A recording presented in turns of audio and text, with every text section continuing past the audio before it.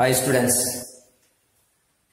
നാം company accounts third ക്ലാസ്സിലാണ് ഇപ്പോഴുള്ളത് നമുക്കറിയാം എന്താണ് ഷെയർ ക്യാപിറ്റൽ എന്താണ് ഷെയർ എന്നൊക്കെ നമുക്ക് ഇപ്പോൾ വ്യക്തമായിട്ട് അറിയാം. ഷെയർ ക്യാപിറ്റലിന്റെ ഒരു ചെറിയ ഭാഗമാണ് എന്റെ ഒരു share share means they share in the share capital of the ഇന്ത്യയിൽ രണ്ട് ടൈപ്പ് ഷെയർ ആണ് ഉള്ളത്. ഒന്ന് ഇക്വിറ്റി ഷെയർ രണ്ടാമത്തത് ഡിഫറൻസ് ഷെയർ രണ്ടും ഷെയർ തന്നെയാണ്. പക്ഷെ ഒരു കമ്പനിയുടെ യഥാർത്ഥ ഓണേഴ്സ് ഇക്വിറ്റി ഷെയർ ഹോൾഡേഴ്സാണ് പ്രിഫറൻസ് ഷെയർ ഹോൾഡേഴ്സും ഷെയർ ഹോൾഡേഴ്സ് തന്നെയാണ്. പക്ഷേ ഇത് രണ്ടും തമ്മിൽ ചില ഡിഫറൻസ് ഒരു കമ്പനിക്ക് പ്രോഫിറ്റ് കിട്ടിക്കഴിഞ്ഞാൽ ടാക്സ് ഒക്കെ കൊടുത്തതിന് ശേഷമുള്ളതായിരിക്കുന്ന ബാക്കി പ്രോഫിറ്റ് ഷെയർ ഹോൾഡേഴ്സിന്റെ ഇടയിൽ ഡിസ്ട്രിബ്യൂട്ട് ചെയ്യും. അതിന് പറയുന്ന പേര് ഡിവിഡൻഡ് എന്നാ പറയാം. ഡിവിഡൻഡ് എന്നാ ഡിവിഡൻഡ് ഒന്നുകൂടെ ഒരു കമ്പനിക്ക് പ്രോഫിറ്റ് കിട്ടിക്കഴിഞ്ഞാൽ ടാക്സ് കൊടുക്കണം. About thirty percentage income tax കൊടുക്കണം കമ്പനി അത് കൊടുത്തു കഴിഞ്ഞാൽ ബാക്കിയുള്ളതായിരിക്കുന്ന പ്രോഫിറ്റ് ഷെയർ ഹോൾഡേഴ്സിന്റെ ഇടയിൽ ഡിസ്ട്രിബ്യൂട്ട് ചെയ്യും. ആ ഡിസ്ട്രിബ്യൂട്ട് ചെയ്യുന്ന വിതരണം ചെയ്യുന്ന പാത്രം പറയുന്ന പേരാണ് ഡിവിഡൻഡ് ഈ ഡിവിഡൻഡ് കൊടുക്കുന്ന നേരം ഫസ്റ്റ് ലെവലിൽ കൊടുക്കണം. പ്രിഫറൻസ് ഷെയർ ഹോൾഡേഴ്സിന് കൊടുക്കണം. കാരണം പ്രിഫറൻസ് എന്ന് പറഞ്ഞാൽ മുൻഗണന എന്നാണ്. അതുകൊണ്ട് ഫസ്റ്റിൽ പ്രിഫറൻസ് ഷെയർ ഹോൾഡേഴ്സിന് കൊടുക്കണം. അതിനുശേഷം മാത്രമേ ഇവർക്ക് ഡിവിഡൻഡ് രണ്ടാമത്തത് ഇൻ കേസ് ഒരു കമ്പനി വൈൻഡ് അപ്പ് ചെയ്യുകയാണെങ്കിൽ ഇന്നലെ ഞാൻ പറഞ്ഞല്ലോ വൈൻഡ് അപ്പ് ലിക്വിഡേഷൻ കമ്പനി അടച്ചു പൂട്ടുകയാണെങ്കിൽ. അവരെ പേരുടക്കാൻ മുതലിൽ അഥവാ പ്രിൻസിപ്പൽ അമൗണ്ട് ഇവരെ മുടക്കിയ അമൗണ്ട് തിരിച്ചു കൊടുക്കാനോ അതും ഫസ്റ്റിൽ പേര് കൊടുക്കണം. എന്നിട്ട് വല്ലതും ബാക്കി ഉണ്ടെങ്കിലേ ഇവർക്ക് ഇക്വിറ്റി ഷെയർ ഹോൾഡേഴ്സിന് കൊടുക്കും. വീണ്ടും ഇക്വിറ്റി ഷെയർ ഹോൾഡേഴ്സിന് എല്ലാ കാര്യത്തിനും വോട്ടിംഗ് റൈറ്റ് ഉണ്ടാവും. കമ്പനിയിൽ മീറ്റിംഗ് വിളിച്ചാൽ എന്തൊരു കാര്യത്തിന് വോട്ട് വോട്ട് ചെയ്യണം. അഭിപ്രായ വ്യത്യാസം ഉണ്ടായാലും വോട്ട് ചെയ്യുക അങ്ങനെ ചെയ്യാം അങ്ങനെ ചെയ്യാം. ഇവർക്ക് വോട്ടിംഗ് റൈറ്റ് എല്ലാ കാര്യത്തിലും ഉണ്ടാവും. ഇവർക്ക് എല്ലാ കാര്യത്തിലും ഉണ്ടാവില്ല. ഇവരെ ഇവരെ കാര്യത്തെ എഫക്ട് ചെയ്യുന്നതിന് മാത്രമേ ഇവർക്ക് വോട്ടിംഗ് റൈറ്റ് ഉണ്ടാവും. എല്ലാ അവസരത്തിലും ഒരു വോട്ടിംഗ് റൈറ്റ് ഇക്വിറ്റി ഷെയർ വാങ്ങിക്കഴിഞ്ഞാൽ പിന്നീട് അത് കമ്പനി സാധാരണ രീതിയിൽ സാധാരണ ഗതിയിൽ തിരിച്ചെടുക്കൂല. തിരിച്ച് എടുക്കൂല. എന്നാൽ ഡിഫറൻസ് ഷെയർ അങ്ങനല്ല അത് റെഡീമബിൾ ആണ് തിരിച്ചെടുക്കും. ഇത് റെഡീമബിൾ ആണ് റെഡീമബിൾ ഏഴ് വർഷമോ അഞ്ച് വർഷമോ എട്ട് വർഷമോ പത്ത് വർഷമോ കഴിഞ്ഞിട്ട് തിരിച്ച് ഷെയർ അങ്ങോട്ട് വാങ്ങി പൈസ അങ്ങോട്ട് തന്നെ എന്നാൽ ഇത് സാധാരണ ഇറഡീമബിൾ ആണ്. പക്ഷേ ചില കണ്ടീഷൻസിന് വിധേയമായിക്കൊണ്ട് ഇത് ഇപ്പം എന്ത് ചെയ്യാം? വാങ്ങാം. അതിന് പറയാം റെഡീം റിഡക്ഷൻ അല്ല ബൈബാക്ക് എന്ന് പറയാം. കമ്പനിക്ക് തന്നെ വാങ്ങാം. അതിന് പറയുന്നത് ബൈബാക്ക് ഓപ്ഷൻസ് അപ്പോ preference shares may be redeemable equity shares is irredeemable പക്ഷേ ഇക്വിറ്റി ഷെയർസ് എന്ത് ചെയ്യാം? ബൈബാക്ക് നടത്താം. ചില കണ്ടീഷൻസിന് വിധേയമായിരിക്കും. ഓക്കെ യഥാർത്ഥ റിയൽ ഓണേഴ്സ് ആരാണ്? ഇക്വിറ്റി ഷെയർ ഓണേഴ്സ് ആണ് ഇവർക്ക് ഇവർക്ക് ലാഭമായിട്ട് കിട്ടുന്നതിന് എന്താ പറയാ? ലാഭത്തിന്റെ വീതം കിട്ടുന്നതിന് എന്താ പറയാ? ഡിവിഡൻഡ് ഡിവിഡൻഡ് ആദ്യം ഇവർക്ക് കിട്ടും അത് കഴിഞ്ഞതിന് ശേഷം മാത്രമേ ഇവർക്ക് കിട്ടുള്ളൂ. പ്രിഫറൻസ് ഷെയർ ഹോൾഡർ ഷെയർസിന് പല ടൈപ്പ് ഉണ്ട്. Redeemable irredeemable cumulative non cumulative എന്നൊക്കെ എങ്ങനെ പറയും. അത് നമുക്ക് മറ്റൊരു ക്ലാസ്സിൽ പഠിക്കാം. ഇപ്പൊ കഴിഞ്ഞ ക്ലാസ്സിൽ നമ്മൾ പഠിച്ചത് ജേണൽ ഭാഗമാണ്. നമ്മൾ പറഞ്ഞു ഒരു ഷെയറിന് ഒരു ഫേസ് വാല്യൂ പക്ഷെ ഒരിക്കലും അത് ഒറ്റയടിക്ക് വാങ്ങാറില്ല. ഇൻസ്റ്റാൾമെന്റ് ആയിട്ടാണ് ആ ഫണ്ട് വാങ്ങുന്നത്. ഫസ്റ്റ് ഇൻസ്റ്റാൾമെന്റിന് എന്തൊരു പേര്? ആ അപ്ലിക്കേഷൻ മണി. സെക്കൻഡ് ഇൻസ്റ്റാൾമെന്റിന് അലോട്ട്മെന്റ് മണി. തേർഡ് ഇൻസ്റ്റാൾമെന്റിന് ഫസ്റ്റ് ബോൾ ഫോർത്ത് ഇൻസ്റ്റാൾമെന്റിന് സെക്കൻഡ് ബോൾ ലാസ്റ്റ് ഇൻസ്റ്റാൾമെന്റിന് ഫൈനൽ ബോൾ എന്നിട്ട് നമ്മൾ ജേണൽ തുടങ്ങി. നമ്മൾ പറഞ്ഞു ഇങ്ങനെ വരക്കണം പെർട്ടിക്കുലേഴ്സ് ആ. ഇത് ഡെബിറ്റ്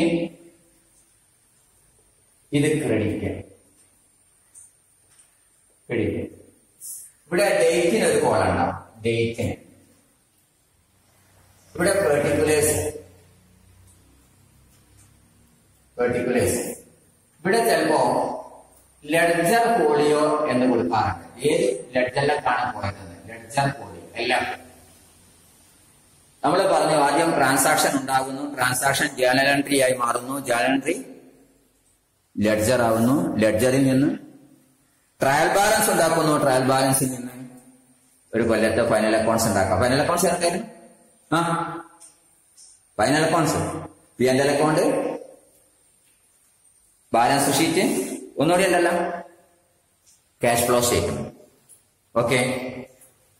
അപ്പോൾ ഏത് ലെഡ്ജറിലേക്കാണ് പോയത് പേജ് നമ്പർ കാണിക്കാനാണ് എല്ലാം എന്ന് പറയുന്ന കോളം എന്നിട്ട് നമ്മൾ പറഞ്ഞു അപ്ലിക്കേഷൻ മണി കിട്ടുന്ന സമയത്ത് നമ്മൾ എഴുതണം. Bank account debtor bank account debtor to share application account ഇത് എഴുതിയാൽ ഇത് വായിക്കണം ഞാൻ പറഞ്ഞു. ഷെയർ അപ്ലിക്കേഷൻ അക്കൗണ്ട് എന്നിട്ട് ഇവിടെ സംഖ്യ എത്രയാണോ ഇരുപതിനായിരം ആണോ? ഇരുപതിനായിരം ഇങ്ങനെ എഴുതണം എന്ന് പറഞ്ഞു. ജാൻഡി എഴുതുന്ന സമയത്ത് ആദ്യത്തെ ഈ ഭാഗത്ത് നിന്ന് തുടങ്ങാവുന്ന എടുക്കുന്ന തുടങ്ങാവുന്ന പറഞ്ഞു. എന്നിട്ട് ഇവിടെ ബ്രാക്കറ്റിൽ എന്തോന്ന് എഴുതണമെന്ന് പറഞ്ഞിരുന്നല്ലോ. എന്നെ പേര്? First narration. Narration. Application money received application money received ഇതൊന്ന് എന്നിട്ട് രണ്ടാമത്തത് നമ്മൾ പറഞ്ഞു ഇത് ഷെയർ ക്യാപിറ്റലിലേക്ക് മാറ്റണം എന്ന് പറഞ്ഞു. എന്തായിരുന്നു share application account added to share capital account എന്നിട്ട് പറഞ്ഞു ചിലപ്പോൾ ഞാൻ പറഞ്ഞു നമ്മൾ അഥവാ കമ്പനി വിൽക്കാൻ വിചാരിച്ചതിനേക്കാളും കൂടുതൽ ഷെയർ നാട് വരും. ആ അവസ്ഥക്ക് എന്താ പറഞ്ഞത്? ഓവർ സബ്സ്ക്രിപ്ഷൻ കമ്പനി വിൽക്കാൻ വിചാരിച്ചതിനെ വിൽക്കാൻ പറഞ്ഞാൽ ഇഷ്യൂ ചെയ്യാം. ഇഷ്യൂ എന്നാണ് പറഞ്ഞത് അല്ലേ? ആ കമ്പനി ഇഷ്യൂ ചെയ്യാൻ വിചാരിച്ച അത്ര ഷെയർ നാൾ വന്നില്ല. സബ്സ്ക്രൈബേഴ്സ് വന്നില്ല. എന്നാൽ അതിന് അണ്ടർ സബ്സ്ക്രിപ്ഷൻ ഓവർ സബ്സ്ക്രിപ്ഷൻ ആയി കഴിഞ്ഞാൽ അവർക്ക് എല്ലാവർക്കും കൂടെ കൊടുക്കാൻ നമ്മുടെ അടുത്ത് ഷെയർ ഉണ്ടോ കമ്പനിന്റെ അടുത്ത് ഷെയർ ഉണ്ടോ ഇല്ലേ. അതുകൊണ്ട് കുറച്ച് ആൾക്കാരുടെ ക്യാഷ് എന്ത് ചെയ്യേണ്ടി വരും തിരിച്ചു കൊടുക്കേണ്ടി വരും. അതിന് നമ്മൾ എന്താ പറഞ്ഞത്? റബിയ?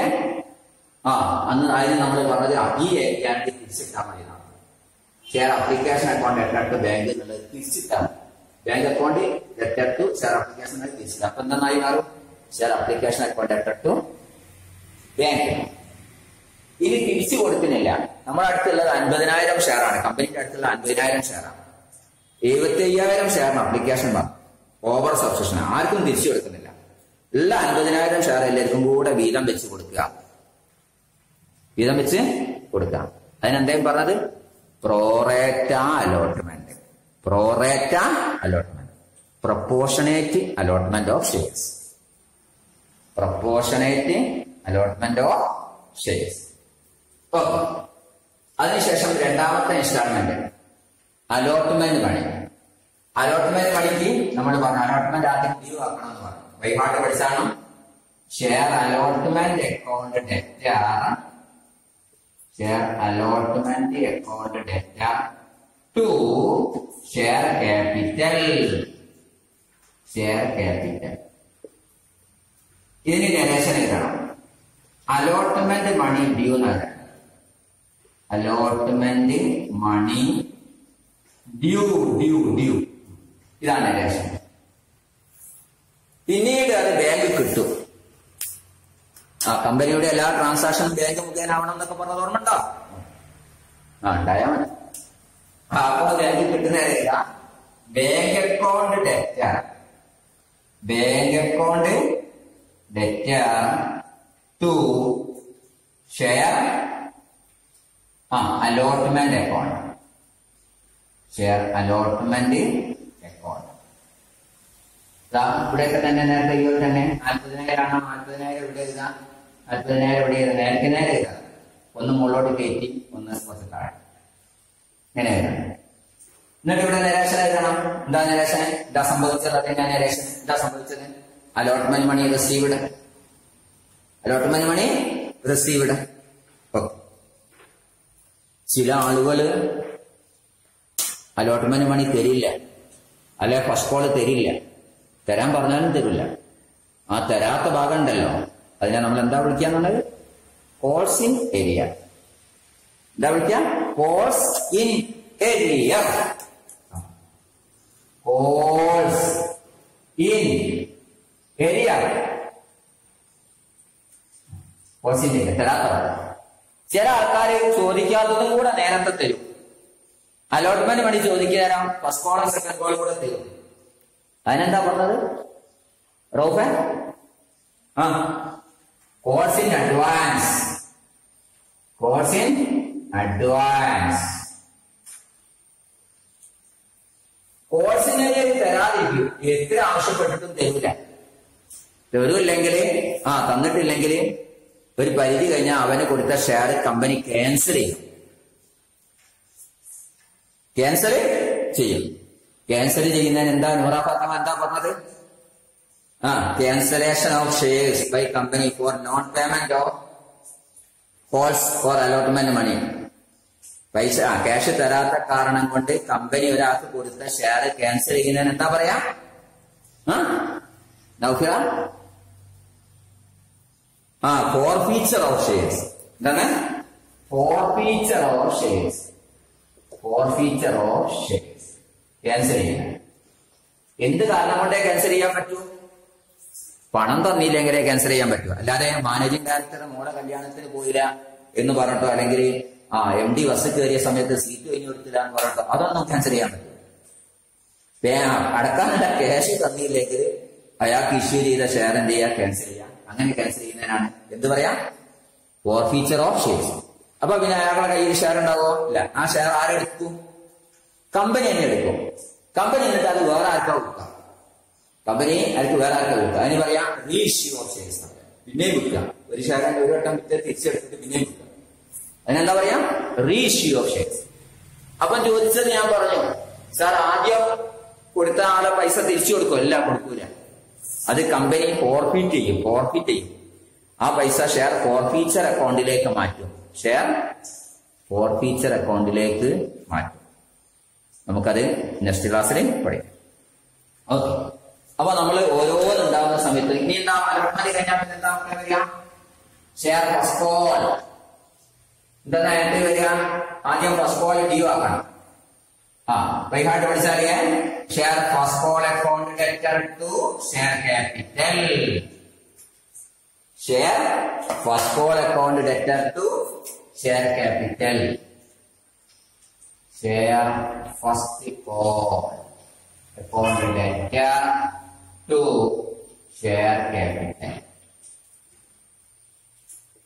അത് കിട്ടുന്നതിന് എന്താ നിരാശ എഴുതണം എന്താ first call money due first call money due being എഴുതാറുണ്ടായിരുന്നു പണ്ട് ഞാൻ പറഞ്ഞു being first call money due ആ ഇനി ഇത് ബാങ്ക് കിട്ടുന്നേരം എന്താ എഴുതാ അമ്മ എന്താ പറയുക ആ bank account debtor bank account debtor to share ആ first call account first call account നിരശന എഴുതണം എന്താ നിരശന എഴുതാ ആ first call money received first call money received received ഇതാണ് നേഷൻ ഇനി ഫൈനൽ കോൾ ആണ് വിചാരിച്ചോ ആ ഉമേർ. എന്താ ഫൈനൽ കോൾ ആണെങ്കിൽ എന്താ ചെയ്യേണ്ടി വരിക? ആ ഷെയർ ഫൈനൽ കോൾ അക്കൗണ്ട് ഞാൻ okay exam share final call account debtor to എങ്ങോട്ട് ആ to share capital account share capital account okay next Shiraz ഇത് കിട്ടുന്ന രണ്ടായിട്ട് എഴുതിയ ആ bank debtor bank account debtor to share final call account share final call account final call account ആ അവസാന പേരണ്ടിക്ക് എന്താ രേഷൻ എഴുതാ Mubeena രേഷനെ final call money received final call money receive അപ്പൊ ഞാൻ ഇരുന്ന് ബൈഹോട്ട് ബൈഹോട്ടാക്കട്ടോ. എങ്ങനെ? ഒന്ന്. Bank account added to share application account രണ്ട് share application account added to share capital മൂന്ന് share allotment account added to share capital നാല് bank account added to share allotment account അഞ്ച് share first call account added to share capital account ആറ് bank account added to share first call account ഏഴ് share final call account added to ആ share capital account എട്ട് bank account എട്ട് share final call ഓരോന്നിനും narration വിടാം എന്നിട്ട് ഓർക്കുക ആ എക്സസ് എമൗണ്ട് കിട്ടിക്കഴിഞ്ഞാൽ അത് തിരിച്ചു കൊടുത്ത നേരം. ഫസ്റ്റ് എൻട്രി തല തിരിച്ചെഴുതണം എന്തെന്ന്? ഷെയർ അപ്ലിക്കേഷൻ അക്കൗണ്ട് എട്ട് ബാങ്ക് അക്കൗണ്ട് ഓക്കെ ഇത്രയും ഭാഗങ്ങളാണ് നമ്മൾ ഈ ക്ലാസ്സിൽ പഠിക്കുന്നത്. വീണ്ടും വീണ്ടും ആവർത്തിച്ച് എന്ത് ചെയ്യാം ചൊല്ലി പഠിക്കാം. ഓക്കെ നോട്ട് എഴുതാത്തവരെന്ത് ചെയ്യണം നോട്ട് എഴുതുകയും